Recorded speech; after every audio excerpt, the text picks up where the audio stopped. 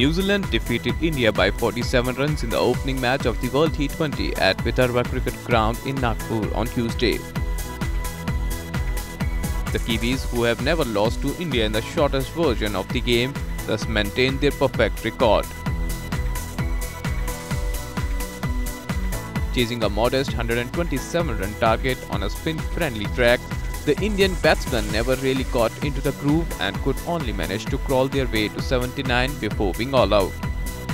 Informed batsman Virat Kohli and Indian captain Mahendra Singh Dhoni fought bravely as wickets fell at the other end, but could not rescue the host.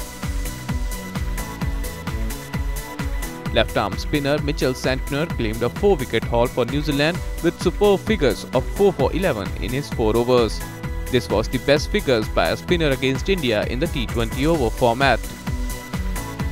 Indian origin leg spinner Inderbir Singh Sodhi also tormented the Indian batsmen for figures of 3 for 18, while Nathan McCullum and fast bowler Adam Milne also bowled well. India lost 9 wickets to spinners which equalled the T20 record. IANS report.